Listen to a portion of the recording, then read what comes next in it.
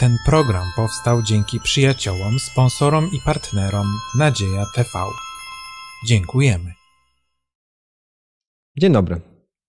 Witam kolejny raz na studium Pisma Świętego z Kościoła w Podkowie Leśnej. Bardzo serdecznie zapraszam na kolejny temat, kiedy będziemy zastanawiać się, jak czynić uczniami ludzi spośród wszystkich narodów.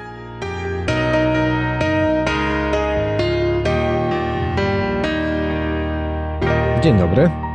Bardzo się cieszę, że kolejny raz spotykamy się w tak dobrych okolicznościach, kiedy będziemy studiować Boże Słowo. Ja nazywam się Marek, jest Dawid, jest Mateusz i jest Grzegorz. Ponieważ będziemy Słowo Boże studiować, rozpoczniemy modlitwą. Grzegorz. Panie nasz kochany Ojcze, zapraszamy Ciebie teraz tutaj na to miejsce, abyś Ty otworzył nasze serca, abyś Ty otworzył nasze umysły i abyś to Ty przemawiał do nas, Panie. Abyś to Ty odkrywał nam piękno swojego charakteru oraz objawiał swoje prawdy. W Twoje ręce się oddajemy i niech wszystko, co będzie tutaj mówione, było mówione na Twoją chwałę. Przez imię Chrystusa Jezusa to prosimy. Amen. Amen. Amen.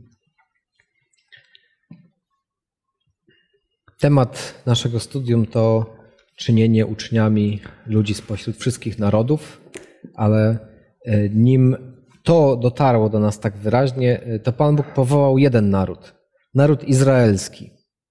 E, I chciałem Was zapytać, dlaczego tak się stało? Dlaczego był jeden naród powołany, a dlaczego Pan Bóg od razu tego wezwania nie skierował do wszystkich narodów?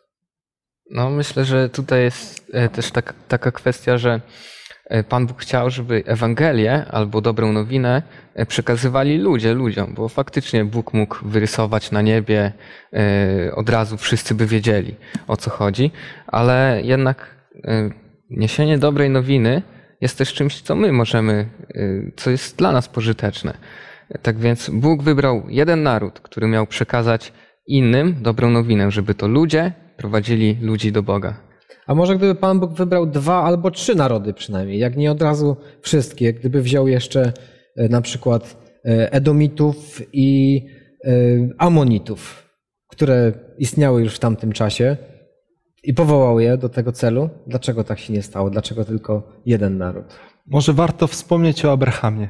Abrahamie, mężu Bożym, który przez wiarę wyszedł z Ur i przez wiarę chodził za Bogiem. Przez wiarę ofiarował swojego jednorodzonego syna i przez wiarę dostał obietnicę.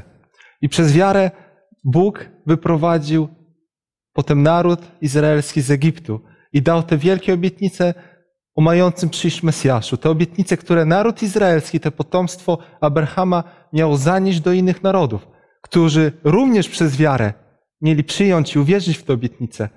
I cały świat miał czekać na pojawienie się Mesjasza i przez wiarę go przyjąć, bo zbawienie jest przez wiarę. Mhm. Czyli Abraham tutaj został wymieniony. Faktycznie Pan Bóg z Abrahamem zawarł przymierze, obiecał i, i powołał potomków Abrahama. Mhm. Też nie było to do końca tak, że tylko naród izraelski miał objawione, że jest Bóg Jahwe, a inni nic nie wiedzieli o tym, bo był Hiob, który prawdopodobnie żył mniej więcej w czasach Mojżesza, który znał Boga Jahwe. Był też Melchizedek, który żył za czasów Abrahama, który też znał Boga Jahwe. Tak więc to nie było też takie zamknięte do, tylko i wyłącznie dla narodu izraelskiego. I też nie, nie oznaczało to, że misję mają prowadzić tylko i wyłącznie Izraelici. A widzimy, że Pan Bóg się troszczy, osobiście troszczy się, na przykład w małych prorokach, o inne narody, o ścienne narody, a czasem nawet narody, które gdzieś mieszkały daleko. A byli również prorocy w innych narodach, którzy niekoniecznie byli Izraelitami, a pomimo to czytamy, że byli to prorocy Boży. Hmm. No, dużo ciekawiej ten obraz wygląda. To nie jest tak, że Pan Bóg jednych wybrał, a innych nie wybrał. Panie, Pan Bóg naprawdę chce mówić do, do wszystkich ludzi. Czy w takim razie ta sytuacja, że tylko widzimy Izrael, który otrzymuje jakieś polecenie od Pana Boga i w ogóle ma kontakt z Panem Bogiem, a inne narody nie bardzo, czy możemy znaleźć w Starym Testamencie jakieś teksty, które będą mówiły o tym, że Pan Bóg już wtedy bardzo wyraźnie miał coś do powiedzenia innym narodom. Że to nie tylko Izrael, ale że inne narody też. Że Pan Bóg nie gardzi innymi narodami. Znamy historię choćby Balaka i Balama, czyli proroka Bożego, który co prawda Balam przeszedł na tą złą stronę mocy, bo jak podaje nam pismo, umiłował zapła- zapłatę niesprawiedliwości, ale był. Hmm? I był gotów mówić do innych narodów. Tak. A, a takie wezwania, gdzie Pan Bóg mówi, że y, chce, żeby inne narody też mogły usłyszeć. W 56 rozdziale Izajasza mamy opisane, że Bóg chce, żeby też obcoplemienni ludzie należeli do narodu izraelskiego. No świetnie, może od szóstego do ósmego tekstu przeczytajmy w tym, w tym rozdziale. Cudzoziemców zaś, którzy się przyłączyli do Pana, żeby Mu służyć, i ażeby miłować imię Pana i zostać Jego sługami, wszystkich zachowujących szabat bez pogwałcenia Go i trzymających się mocno mojego przymierza, przyprowadzę na moją świętą górę i rozweselę w moim domu modlitwy. Całopalenia ich oraz ofiary będą przyjęte na ołtarzu moim, bo dom mój będzie nazwany domem modlitwy dla wszystkich narodów. Wyrocznia Pana Boga, który gromadzi wygnańców Izraela. Jeszcze mu innych zgromadzę oprócz tych, którzy już zostali zgromadzeni. Hmm, świetnie. A czy na przykład księga Jonasza i misja Jonasza też mogłaby wskazywać na to, że Pan Bóg y, lubił inne narody? Tak. Warto też wspomnieć króla Melchizedeka, któremu Abraham dał dziesięcinę. Mhm. Też Melchizedek, y, no trudno powiedzieć, że był Izraelitą, bo dopiero Abraham był, prawda? A Izraelici mieli pojawić się y, jako potomkowie Abrahama, więc faktycznie też był z jakiegoś innego narodu, z tej, z tej Bożej rodziny. Y, Jeszcze jakieś fragmenty, jakieś myśli, które znajdujemy w Starym Testamencie, gdzie Pan Bóg mówi: W moim sercu są wszystkie narody. Chcę ich też ratować. Jeśli można, otworzę tak szybko pierwszy rozdział piątej Księgi Mojżeszowej,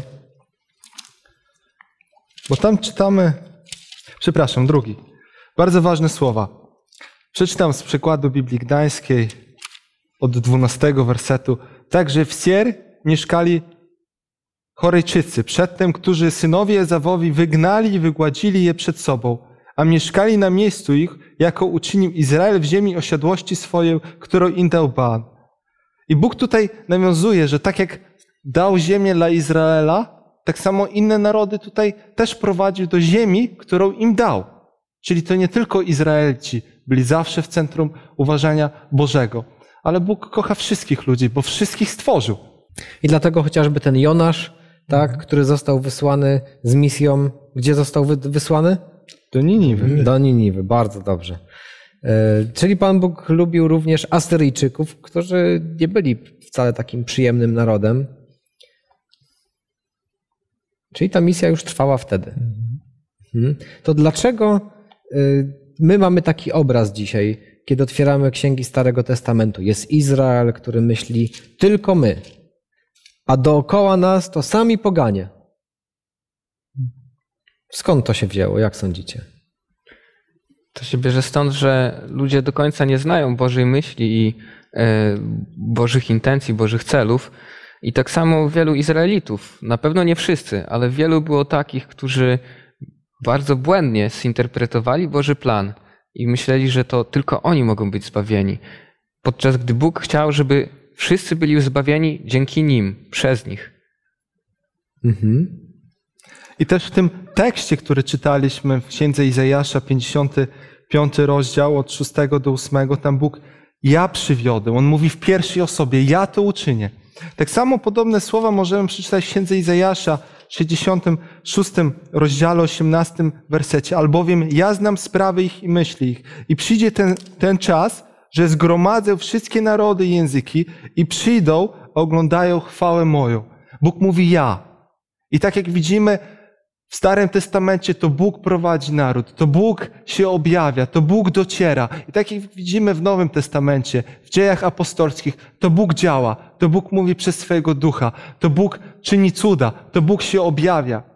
No tak, Wydaje ale mi się- Ja przepraszam, y, prowadzimy dyskusję. Pan Bóg ma swój plan, Pan Bóg chce, Pan Bóg przez, Ija, przez Izajasza powiedział bardzo wyraźnie, ja do wszystkich narodów, a jednak widzimy, że ten Izrael cały czas się zamyka. Samarytanie, o nie, Samarytanie to tacy ok, okropni y, heretycy, a jakieś inne narody, o też bardzo niedobrze.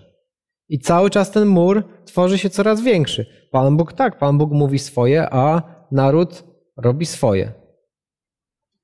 Bo uwaga, Czy jest to dla nas jakąś y, przestrogą? Właśnie bardzo dużo, bo uwaga przychodzi z Boga na nas. Kiedy my myślimy, to teraz my. Dostaliśmy polecenie od Boga, idźmy. I mamy ludzkie metody, mamy ludzkie plany, jak dotrzeć, ale to nie działa. Dlaczego? Bo to jest z nas. I często robią się bariery, dzielimy się. My jesteśmy lepsi, tak jak myśleli w tamtym czasie Izraelici. My jesteśmy lepsi od innych narodów, oni są gorsi, bo oni chcieli to osiągnąć własnymi siłami. Ale kiedy Bóg jest w centrum i kiedy my jesteśmy otwarci, tak naprawdę, żeby nie pełnić naszej woli, nie robić naszych planów, ale pełnić i robić plany Boże, wtedy ta Ewangelia może się rozprzestrzeniać. Bo nie dzięki mocy, ani nie dzięki sile się to stanie, ale dzięki mojemu duchowi. Aby Bóg był uwielbiony. I tylko Bóg, a nie my. I też e, ja myślę, jeżeli chodzi tutaj o tą przestrogę, to jest bardzo ważne właśnie, że e, to, co powiedziałeś, że to jest pewien sposób otaczamy się murami. Tak samo Izraelici, oni otrzymali obfite błogosławieństwo od Pana Boga, otrzymali przede wszystkim ziemię.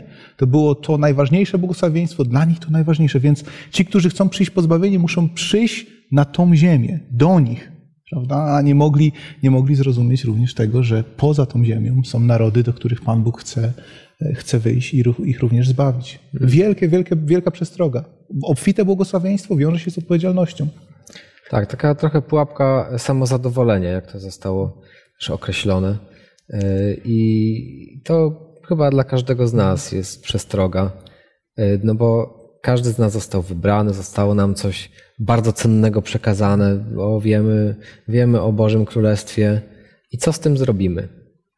Możemy zakopać albo możemy przekazać dalej. Tak, jeszcze była jakaś myśl? Tak. Wydaje mi się, że być może takie podejście wynika z tego, że traktujemy te polecenie Boże jakoś zwiastowania Ewangelii jako trudny obowiązek, który musimy spełnić. A Bóg to nie dał dla obowiązku dla nas, ale wręcz przeciwnie, jako błogosławieństwo. Popatrzcie, kiedy my głosimy komuś Ewangelię, nasza wiara jak się buduje. Kiedy widzimy, jak Bóg czyjeś zmienia życie, bardzo dużo my na tym zyskujemy. Dlatego to nie jest obowiązek, ale to jest błogosławieństwo Boże, które zostało nam powierzone. Dlaczego? Żeby nasza wiara wzrastała. Bo tak jak już poprzednicy powiedzieli wcześniej, Bóg może swoje Ewangelie wypisać palcem na niebie, na ziemi i tak ogłosić swoje słowo, aby nie było wątpliwości, że jest Bóg. Ale wtedy te błogosławieństwo, które my otrzymujemy głosząc, byłoby niezdobyte przez nas. Nie otrzymalibyśmy tego. Y, Chciałbym Was poprosić o przeczytanie dwóch tekstów. Dawidzie, dla Ciebie y, Ewangelia Mateusza, 11 rozdział, 20 do 24 i Mateusz, Ewangelia Łukasza, 4, 25 do 28. Wtedy począł czynić wyrzuty miastom, w których najwięcej jego cudów się dokonało, że się nie nawróciły. Biada tobie, Korazain, biada tobie, Betsaido, bo gdyby w Tyrze, Sydonie działy się cuda, które u was się dokonały, już dawno w worze i w popiele by się nawróciły. To też powiadam wam, Tyrowi i Sydonowi lżej będzie w dzień sądu niż wam. A ty, Kafarnaum, czy aż do nieba masz być wyniesione? Aż do otchłani zejdziesz? Bo gdyby w Sodomie działy się cuda, które się w tobie dokonały, zostałaby aż do dnia dzisiejszego. To też powiadam wam, ziemi sodomskiej lżej będzie w dzień sądu niż tobie. I Ewangelia Łukasza 4, 25 do 28. Prawdziwie zaś mówię wam, wiele było wdów w Izraelu w czasach Eliasza, kiedy niebo było zamknięte przez trzy lata i sześć miesięcy, tak iż był wielki głód na całej ziemi, a do żadnej z nich nie został posłany Eliasz, tylko do wdowy w Sarepcie Sydońskiej. I było wielu trędowatych w Izraelu za Elizeusza, proroka, a żaden z nich nie został oczyszczony, tylko Naman Syryjczyk. I wszyscy w synagodze, słysząc to, zawrzeli gniewem. W obu tych momentach Pan Jezus zwraca uwagę na przeszłe wydarzenia, na to, jak Pan Bóg szczególnie traktował inne narody, coś, y, na co inni aż zasłaniali oczy, żeby nie widzieć takich y, sytuacji. I ciekawa jest reakcja w obu momentach. Ludzie się gniewają na Pana Jezusa. Jak myślicie, co to za mechanizm działa? Czy znowu dla nas może być to jakimś, jakimś przesłaniem? To jest takie przesłanie, bo często patrzymy na innych ludzi jako na gorszych od nas. Być może spojrzymy na człowieka, który gdzieś tam leży w rowie i mówimy: O, no co on z sobą zrobił? Straszny człowiek. I jak Jezus przychodzi do nich, to im mówi: Wy wcale nie jesteście lepsi, nawet jesteście gorsi, bo gdy była potrzeba, to właśnie tacy ludzie, najgorsi, byli ludźmi, którzy pomagali, których Bóg wybierał. I właśnie bardzo często też dzisiaj my, ja, patrzymy e, w ten sposób na ludzi, że no jemu to nie należy się głosić Ewangelii, bo to taki zły człowiek. Nawet rozmawialiśmy dzisiaj o grupach ludzi, z który, którym nie, nie głosilibyśmy Ewangelii, bo im się nie należy. I wielu mówiło, że ja mordercy nie potrafiłbym powiedzieć. Niektórzy mówili, że ja ludziom, którzy wykorzystują e, seksualnie dzieci, też bym nie mówił Ewangelii Chrystusa, bo czujemy się lepsi od nich. I I ta lepszość może z różnego powodu wynikać. To może być tle, na tle właśnie narodowościowym, to może być e, na e, tle powiedzmy naszego ubrania. My Jesteśmy ładnie ubrani, tak, a ktoś się nie ubrał ładnie. Albo my powiemy, mamy właściwą teologię, oni mają. Zawsze znajdziemy sobie powody, dlaczego my będziemy bardzo, bardzo fajna myśl. I e, to jest pewna nasza skłonność, że potrafimy osądzić i zaszufladkować ludzi, czego właśnie Pan Jezus nie czynił i, i to często może nam przeszkadzać w głoszeniu innym.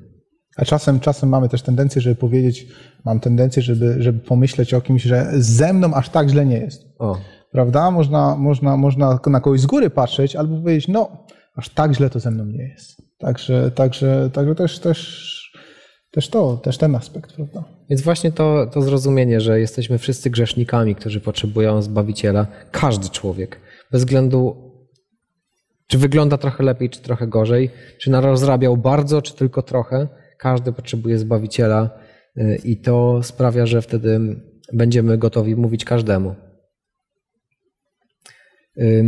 Dobrze, kolejny tekst. Ewangelia Jana, 12 rozdział, 20 do 25 wiersza i 32.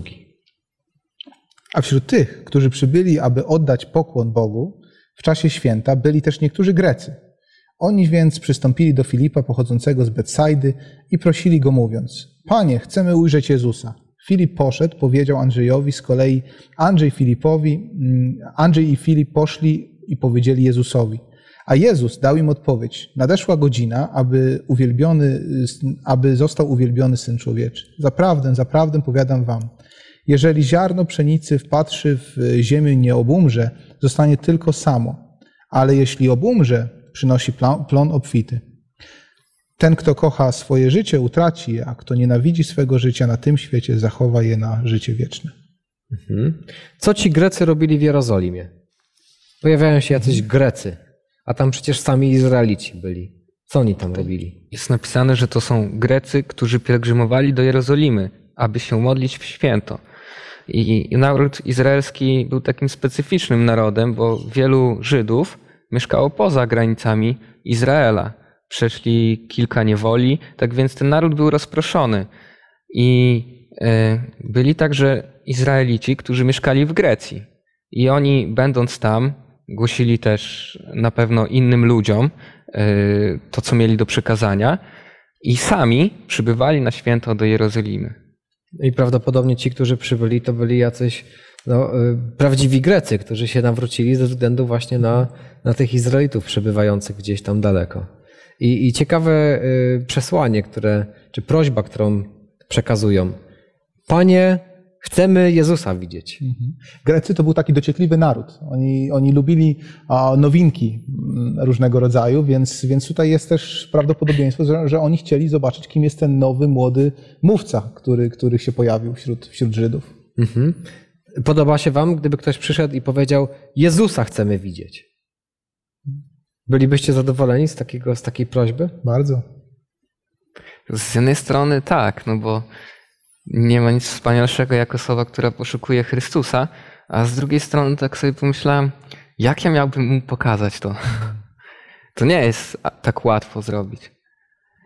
Czyli jest ta obawa przed y, tym, że ja mogę nie, dopełnić obowiązku, ale też radość, że jest osoba, która poszukuje Chrystusa.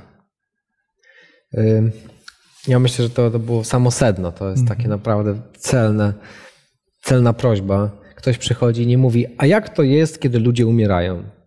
Ważne pytanie, no bo każdy z ludzi się zmaga z tym, no, chcemy wiedzieć.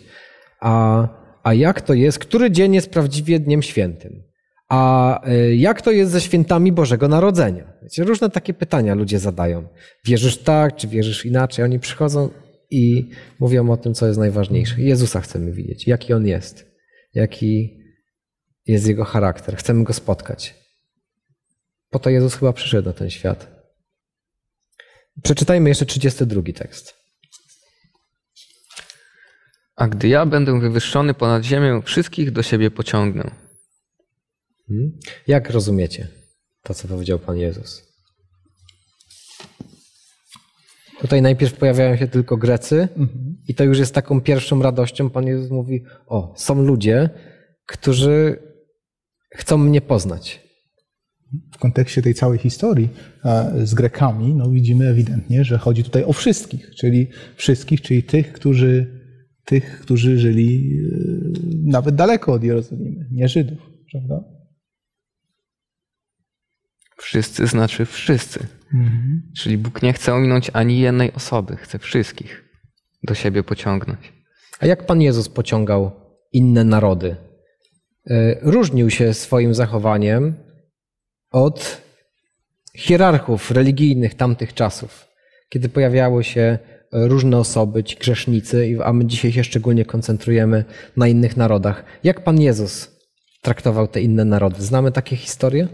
Pan Jezus nawet zbaczał z drogi, żeby, żeby spotkać ludzi, e, których może inni nie chcieli spotkać. Także Pan Jezus, e, no, to było Jego takim pragnieniem, e, aby, aby wyjść do ludzi, aby przejść te granice, te bariery. Dlatego do Samarytan, do których nikt nie chciał przez tamtędy, tamtą drogą przechodzić, Pan Jezus prze, przeszedł prosto, prosto w, tym, w tym miejscu, aby spotkać ludzi, aby spotkać Samarytan. I rozmawiał z Samarytan. kobietą? I jeszcze z kobietą rozmawiał, co w tamtych czasach było, było czymś Mhm. Jeśli można przeczytać z Ozeasza 11 rozdziału, czwarty werset. Powrozami ludzkimi pociągałem ich, powrozami miłości, a byłem im jako, jako którzy odejmują jarzmo z czeluści ich i dawałem im pokarm. Bóg zawsze przyciągał miłością ludzi do siebie. Tak samo w Starym Testamencie, jak inne narody swoje dzieci składały w ofierze. Chcieli się przypodobać, chcieli dużo rzeczy robić. I tak samo w Nowym Te- Testamencie, kiedy to Pan Jezus umiera na krzyżu za nas wszystkich. Chodzi jako zwykły człowiek, nie jako ktoś wielki, ale skromny, pokorny. Taki człowiek, do którego podobni ludzie skromni, pokorni się garnęli. Nie jacyś wielcy, ale skromni i pokorni, którzy nie chcieli być kimś, ani zasłużyć na coś, bo wiedzieli, że, że są nikim i że są grzeszni. Mhm. Mówiąc, jeszcze o tych narodach, które Pan Jezus traktował inaczej. Byli Samarytanie, była kobieta z Syrofenicji, czyli mm, Pan Jezus przełamywał pewne uprzedzenia, które mieli Izraelici tamtych czasów. A czy my dzisiaj możemy mieć, czy mamy może takie uprzedzenia? Może tutaj siedzimy e, przedstawiciele narodu polskiego. Czy my mamy takie narody, do których być może trudno byłoby nam pójść z Ewangelią? Jakiś dystans, jakaś bariera. No nie powinno być na pewno. Nie powinno być, co najmniej nie powinno. E, Ale jako Polacy, Polacy bardzo często sceptycznie patrzą na inne narody e, i myślą, że oni są gorsi. No nie wiem, nie, nie, będziemy chyba wymieniać, ale wiemy, że coś takiego istnieje i stawiamy się czasem wyżej od innych, jak narodów. Ale ten problem może dotknąć też płaszczyznę religijną. Tak samo jak Żydzi uważali, że ich religia jest lepsza i wszyscy poganie no, są gdzieś, gdzieś na zewnątrz, prawda? Są gorsi. Tak samo my możemy myśleć, że my jako adwentyści często powtarzamy, ci, którzy posiadają prawdę, jesteśmy lepsi. I tak samo na Tak nam inne, się wydaje. tak, na inne do, denominacje możemy patrzeć tak jak Izrael patrzył na Samarię. Mhm. Bardzo, bardzo dobre porównanie. No. E, Słuchajcie, przeczytajmy teraz e, serię trzech tekstów. Księga Dziejów Apostolskich, pierwszy rozdział 7 i 8.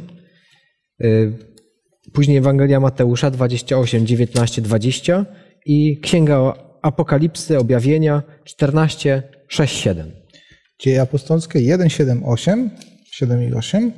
Odpowiedział im, nie waszą e, to rzecz znać czasy i chwile, które Ojciec ustalił swoją władzą, ale gdy Duch Święty stąpi na was, otrzymacie Jego moc i będziecie moimi świadkami w Jerozolimie i w całej Judei i w Samarii i aż po krańce ziemi. Ewangelia Mateusza 28, 19, 20. Idźcie tedy i czyńcie uczniami wszystkie narody, chrzcząc je w imię Ojca i Syna i Ducha Świętego, ucząc je przestrzegać wszystkiego, co wam przykazałem. A oto ja jestem z wami po wszystkie dni, aż do skończenia świata. Apokalipsa 14, 6, 7.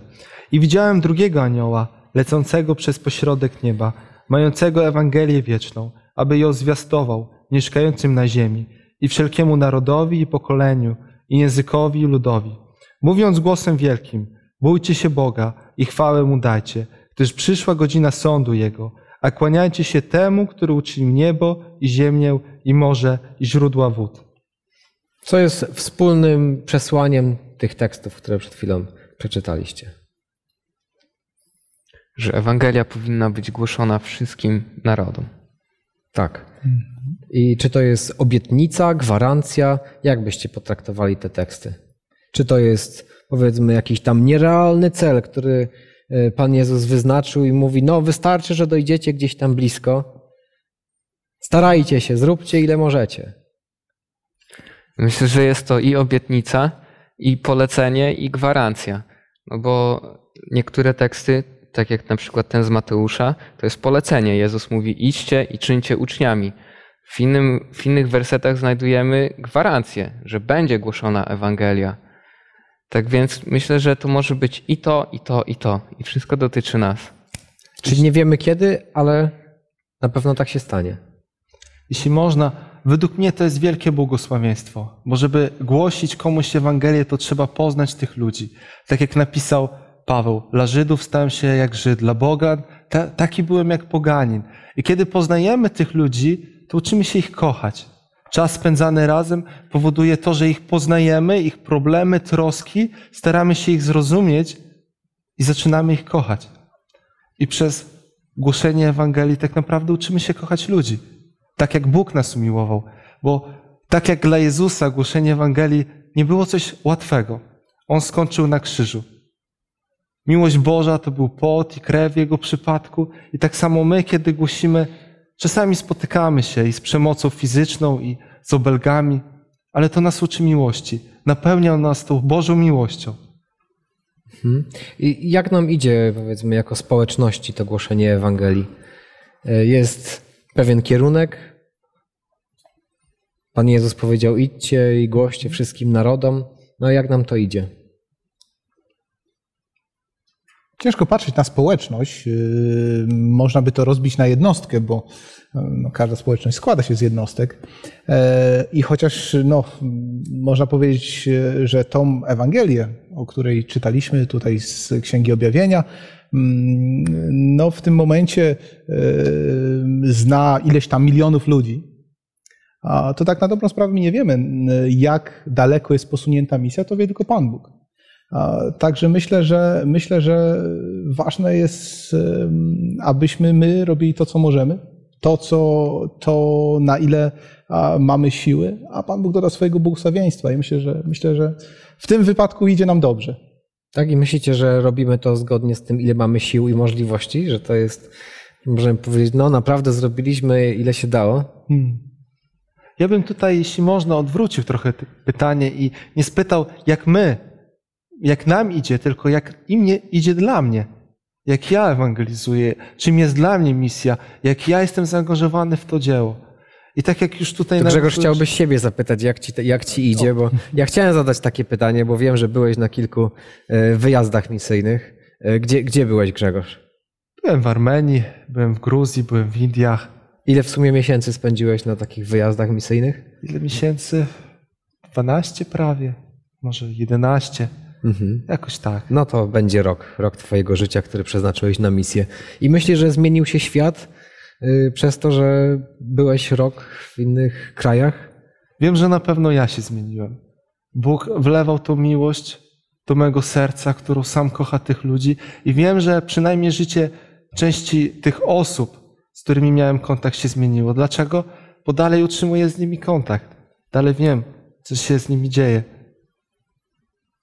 Czy zachęciłbyś innych do tego, żeby porzucić swoje komfortowe miejsce, miejsce spokojne y, i, i poświęcić jakiś właśnie czas na, na taki wyjazd misyjny? Jeśli ktoś chce szukać Boga, chce znaleźć Boga, chce naprawdę rozkochać się w Bogu, to uważam, że to jest najlepsza droga dla niego. Bo w naszym kraju, gdzie wszystko mamy zapewnione, nie musimy się martwić o jedzenie, o dach nad głową. Język jest komunikatywny dla nas, z każdym możemy porozmawiać, ale gdzieś w obcym kraju, gdzie są inne prawa, gdzie jest inna kultura, której my nie znamy, tam naprawdę jesteśmy zdani na Boga. I tam tam naprawdę widzimy, jak się Bóg troszczy o nas i doświadczamy żywego Boga w naszym życiu. Bo gdyby Bóg nas nie prowadził, to byśmy zginęli. Czyli trochę taka głęboka woda, tak? Zachęcasz, żeby y, spróbować, jak to jest. Tak. Ale tylko jeśli ktoś szuka Boga. Bo jeśli ktoś się nastawia na wielkie wyniki, na to, aby zabłysnąć, nie wiem, chwałą, być dobrym ewangelistą, żeby potem ludzie Zagranicznym misjonarzem. Tak, przytakiwali i mówili, to jest człowiek, to nie, nie polecam. Dlaczego? Bo jak mówiliśmy, to Bóg działa. To Boga jest ta misja. I to Bóg działa przez nas. I jeśli można, odniosę się do Daniela, który był zupełnie w obcym kraju, zupełnie w obcej kulturze i ci ludzie widzieli, że w nim jest Bóg żywy, że w nim jest duch Boga. I to Bóg właśnie przez działanie w nim zmieniał ten naród. Czyli podsumowując, chcesz być dobrym misjonarzem? Zadbaj o swoją relację z Panem Bogiem, a Bóg zrobi resztę. E, Ostatnie pytanie w tym temacie twoich, twoich misji. E, Skąd człowiek ma wiedzieć, skąd ja mam wiedzieć, że Pan Bóg mnie wysyła na misję? Trzeba się, mo- może nie trzeba, nie lubię tego słowa, ale dobrze jest się modlić i uczyć się, uczyć się rozpoznawać głos Boży i podążać za nim. Bo to wymaga wiary, to wymaga spróbowania, to czasami wymaga zawodu w naszym życiu, ale przez wiarę poznajemy Boga, bo Bóg jest duchem. Czy ty miałeś taką stuprocentową pewność, jak tam jechałeś, że tak, to jest to, co chce ode mnie Bóg? Ja miałem stuprocentową pewność. Co więcej, wybrałem w tej bazie projektów, którą przeglądałem, naprawdę były tysiące, tysiące projektów. Modliłem się, Panie, pokaż mi coś. Wiedziałem, że chcę być w bi- w biednym kraju, w kraju górzystym. I wybór padł na Armenię, na małe miasteczko Goris. Pojechaliśmy tam. Okazało się, że Kościół Adwentystów jest. Okazało się, że mamy naprawdę wsparcie z wielu stron. I, I widzieliśmy, jak Bóg zmienia nas i tych ludzi. Skończyło się tak w Armenii, że nawet ci ludzie, widząc to, jak my się zachowujemy, bo ludzie bardziej chcą zobaczyć Boga i wpływu naszej religii na nas, a nie tylko słuchać o pięknych teoriach czy dogmatach religijnych. I skończyło się to tak, że sami ci ludzie nas poprosili, słuchajcie, może chcielibyście tutaj jakieś kazania u nas powiedzieć. I mówiliśmy do nich o Słowie Bożym na takiej społecznej stołówce, gdzie przychodzili biedni i gdzie sami ludzie naprawdę garnęli się po to, aby słuchać Słowo Boże. I to nie z nas, bo to nigdy nie jest z nas. Czy ewangelizacja to zadanie tylko dla profesjonalistów? Y, I mówię tutaj o, o misji w znaczeniu i takim ogólnoświatowym, i tym naszym tutaj bliskim, lokalnym.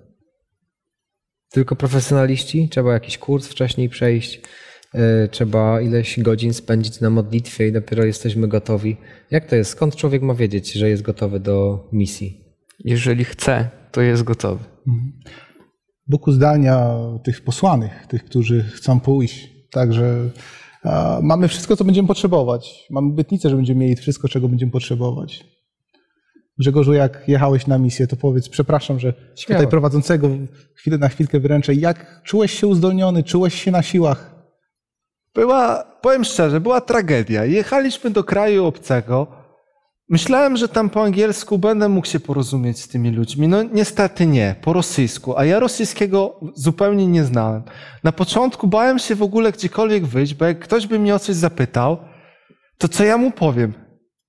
Ale to jest wielkie w naszym Bogu, to jest wspaniałe, że Bóg nas nigdy nie zostawia i po ośmiu miesiącach, siedmiu prowadziliśmy wykłady po rosyjsku, mówiłem kasa, kazania po rosyjsku nie tylko do adwentystów.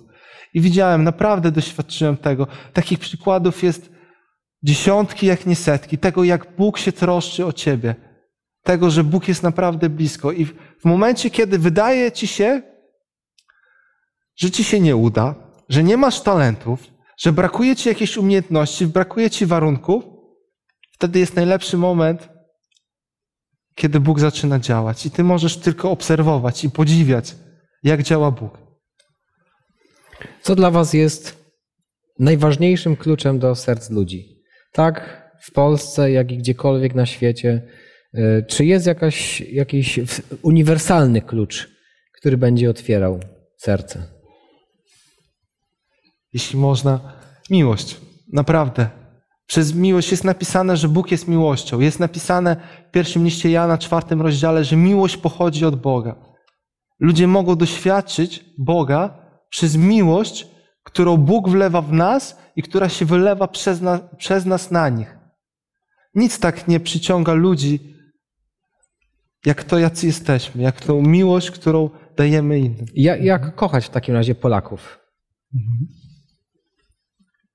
może, jeżeli można, to ściąg- y, żebyśmy mm, pomówili o tym takim mikro e, tutaj. e, Małym podwórku naszym. Małym naszym podwórku, tak. E, To tak jak troszeczkę jak z tymi Grekami było. Grecy zapytali Filipa, dlatego że Filip mówił po grecku.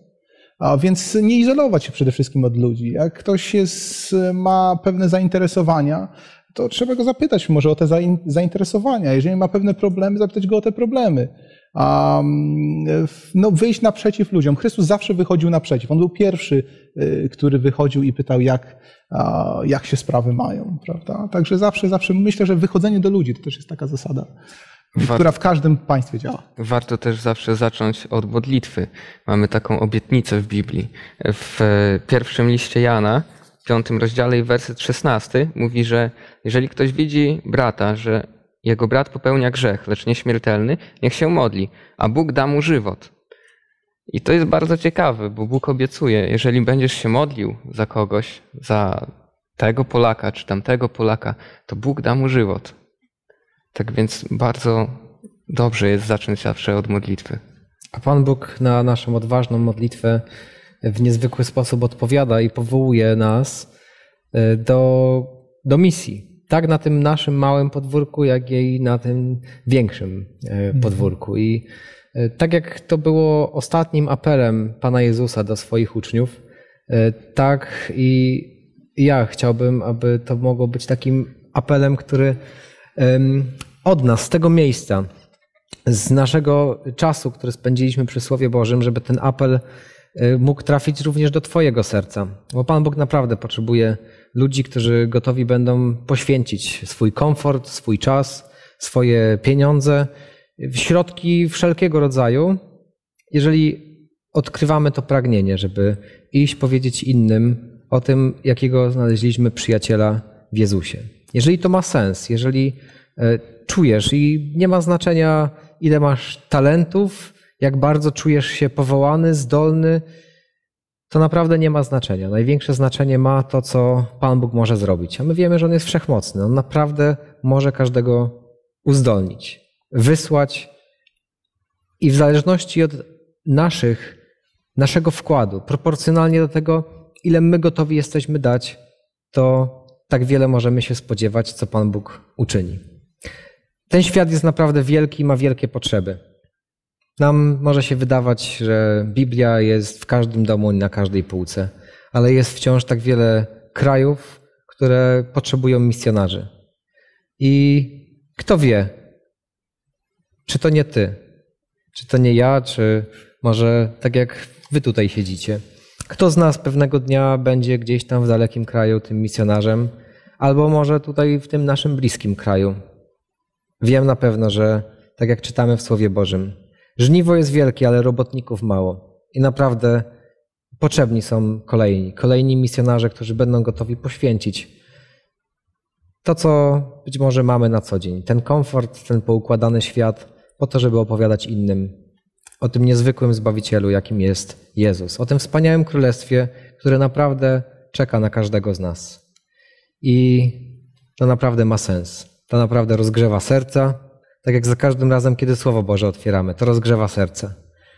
I wyobraźcie sobie, że nasze życie może być w całości taką jedną wielką misją, jedną wielką radością, która sprawi, że pewnego dnia w Bożym Królestwie spotkamy ludzi, którzy gdzieś dzięki nam mogli otrzymać tą dobrą nowinę o zbawieniu w Jezusie. Ten apel naprawdę bardzo szczerze, gorąco kieruje do Was. To wszystko zaczyna się od modlitwy, naszej szczerej, gorącej modlitwy. Panie, poślij mnie, a Pan Bóg naprawdę posyła. Nasze studium zakończymy również modlitwą. Mateusz, Ciebie poproszę. Arcykapłanie nasz, Ojcze Niebieski, dziękujemy Ci za to, że dajesz nam wszystko, co jest potrzebne do życia. I Panie, bądź z wszystkimi ludźmi, otwieraj ich serca. I Panie, uzdalnij też nas wszystkich, żebyśmy mogli im nieść Twoje słowo, Twoją dobrą nowinę o zbawieniu. Bo Panie, chcielibyśmy, żeby w Twoim królestwie było nas jak najwięcej. Dlatego ucz nas, prowadź i bądź z wszystkimi, którzy do Ciebie wołają. Amen. Amen. Amen.